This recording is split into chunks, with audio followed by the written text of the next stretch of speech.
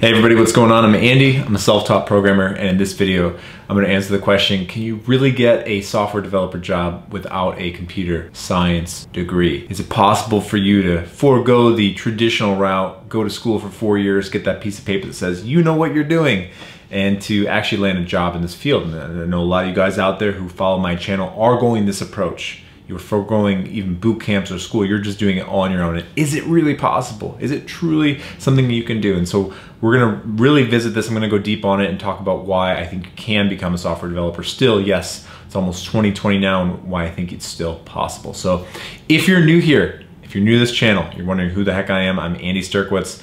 I'm a self-taught software developer. I'm also a mentor and a coach to everyday people who are aspiring software developers. So people who are looking to get in the field, I help them with strategies for learning. I also help them with the job hunting aspect, really figuring out how to actually get into that first position.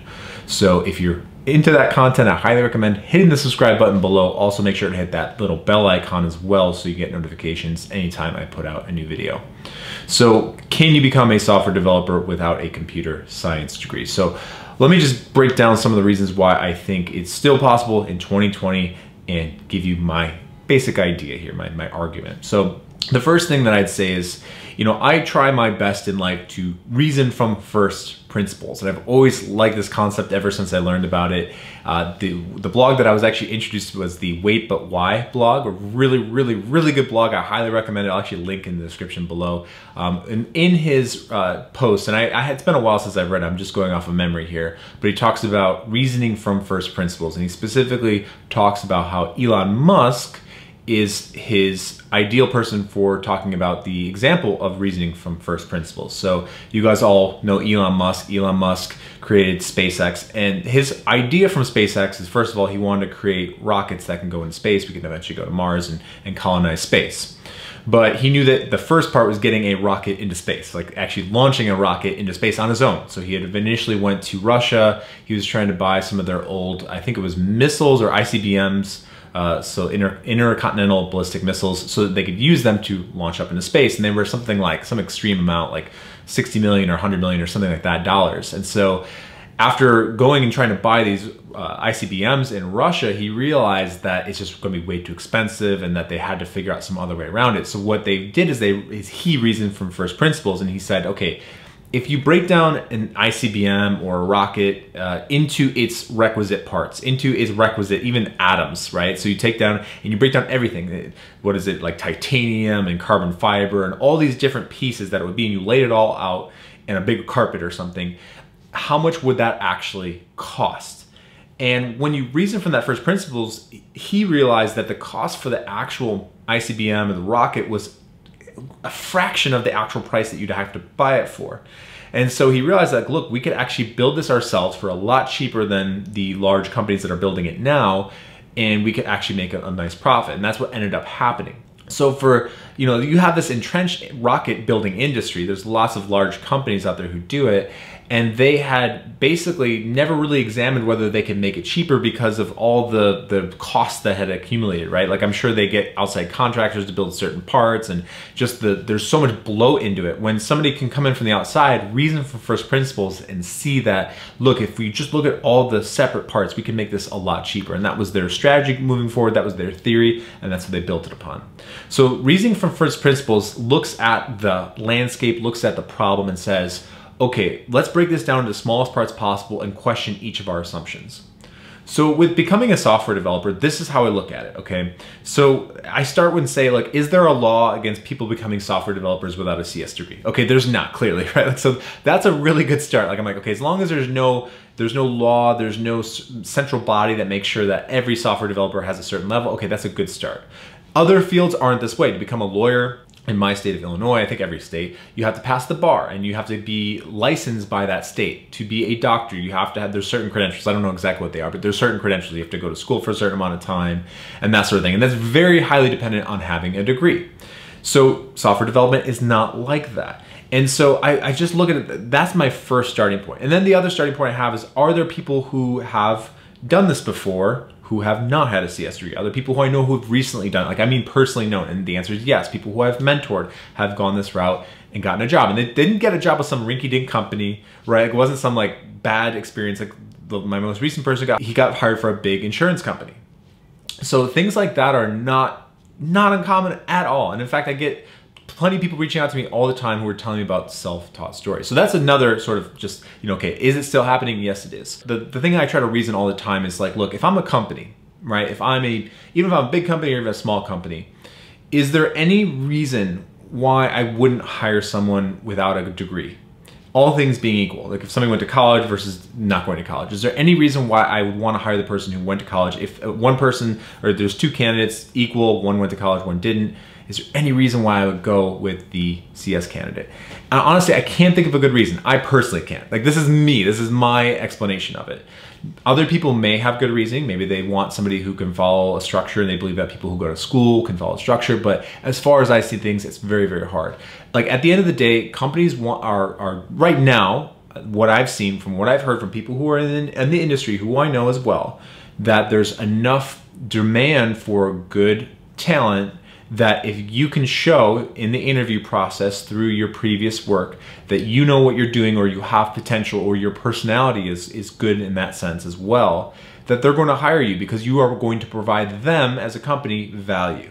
And that's it at the end of the day. That CS degree doesn't inherently provide them value, then there's no compelling reason for them to hire you. So my big takeaway from this is just look, reason from first principles.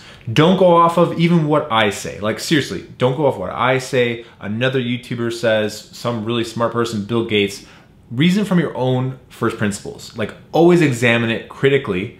And if you come to the same conclusion, awesome. If you come to a different conclusion, great. But at least you went to the source, you broke things down in their smallest piece, and you question all of your underlying basic assumptions. Now, the second thing I think that really is promising is uh, sort of tags along with what I just said here is anecdotal evidence. So anecdotal meaning stories from other people, right? And I love to research this. I go on Reddit. I have people reach out to me on social media, even my own experience, my friends' experience, uh, people at companies. I'm always trying to gather evidence and information from all different types of sources and just see like are people still able to get a job without a CS degree going the self-taught route? And the answer seems to be a pretty compelling yes as of right now right? When I reach out to friends, I'm like, are they, are you guys hiring self-taught developers? Are there any people who you've seen, any people you've come across who are good candidates? Maybe if you didn't hire them, but that were still good, did, but were self-taught. The answer is yes right? Like if you go on the free code camp forums, if you go to my Facebook group as well, you'll still have people reporting that they're getting jobs without computer science degrees. And I know it's the internet and people could lie like,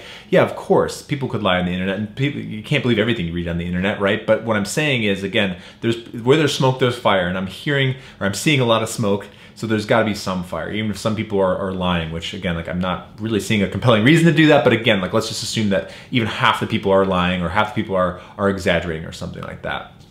Even more compelling than that is my work with, with people right now. What I'm seeing with people who I'm mentoring is that, again, a lot of people don't have computer science degrees. They're going out and they're, even if they're not necessarily getting a job at this point, they're getting interviews. They're getting taken seriously without a CS degree. And that's a really good first step. So if you're getting opportunities, that's a good sign that at least you can figure out the next part of the process where you have to pass that interview. So again, anecdotal, anecdotal stories are important. So making sure that you're seeing that like there's people still reporting this, um, whether that's people writing blog posts about it on Medium, you know, free code camp forums, which is a great way to just find uh, motivation and information about that, or my Facebook group, or just like even just trying to find meetups where you can go and, and talk to people and see if this is still happening. So anecdotal stories are a good sign that this is still possible. Now, the last thing here is that I think that what's really promising is that you know, people tend to think that Silicon Valley is the only place you can become a software developer for some weird reason, right? Or like that's like the, the main place. Every other place is very, very hard.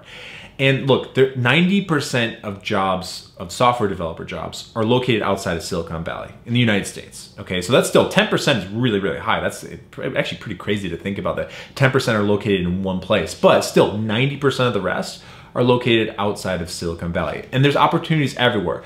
I live in Chicago right now. Yeah, there's a big tech community here. Same with other places like Denver. New York has a good tech community as well. But even beyond that, even if you're in a place like Tennessee, there's still places that have tech communities there where you can find a job as a self-taught developer. And so a lot of people get down on this idea that you only can be in Silicon Valley, that you only can work for the big tech companies, that you have to be, you know, an ace at whiteboarding and data structure and algorithm problems, and that's the only way. And the only way to do that is be a student and go to college and blah, blah, blah, blah, blah. Okay, look, 90% of jobs are outside of Silicon Valley you know, even beyond that, not every job is going to be at a big company like a Google or something similar. Many people who have reached out to me have said they get hired at a smaller company where they're like one of two or three developers, right? So there's, and a lot of people also will say they started with freelancing or they got some sort of freelancing gigs to start off with and they turned it into something that was more sustaining. So when I hear this concept that like, you know, it's like you only have to work for big tech companies like, or you have to be in Silicon Valley or whatever weird excuse it is, or it's like, it doesn't, it, it just doesn't make, hold up when you actually start to look at some of the evidence out there. So computer science degree, working for the big tech companies, being in Silicon Valley, all those things to me don't necessarily apply. Like you can absolutely get a job in this, but it doesn't necessarily mean it's going to be easy going. Like a lot of people think that they're just going to pick up a couple of Udemy courses they're going to read a few books, maybe maybe build a few projects, and that's it. This is an intensive thing. If you're gonna make this a career change, you really have to go all in. And I've had a video that I'll post up here about going all in.